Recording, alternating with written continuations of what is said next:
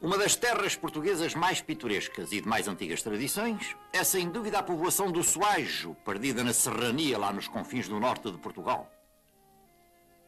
O seu pelourinho, uma coluna de granito áspero sem base nem capitel, estabelece flagrante contraste com o moderno edifício da Casa do Povo.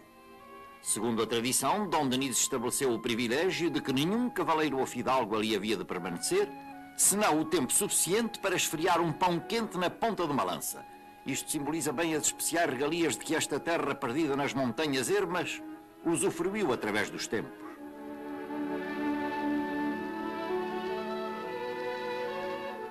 Terra de milho e de centeio, por toda a parte proliferam os característicos sequeiros de configuração inconfundível, onde as famílias guardam durante o ano a colheita do cereal.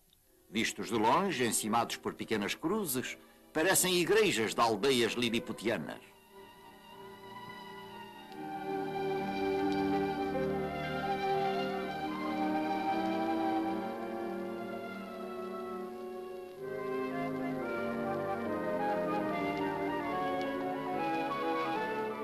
O único material empregado nas casas, nas ruas e nos sequeiros é o granito, a pedra dura com que a natureza foi pródiga em cobrir a serrania.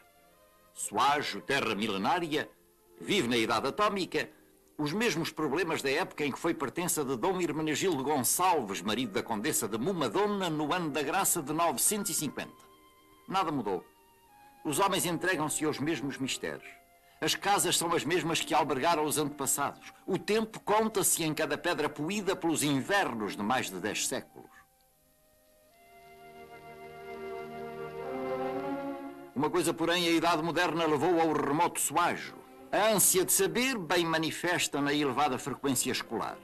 Enquanto os adultos se perderam pelas encostas arroteando as terras pedregosas, bandos chilreantes de crianças dirigem-se à escola nos seus trajes tradicionais, que melhor os defendem do frio e do vento fustigante do norte. E uma coisa é certa, elas saberão manter as tradições do suajo, e a língua portuguesa continuará pelos séculos fora a ouvir-se sobre os lajedos e entre as casas de granito da velha aldeia perdida na serrania, lá nos confins do norte de Portugal.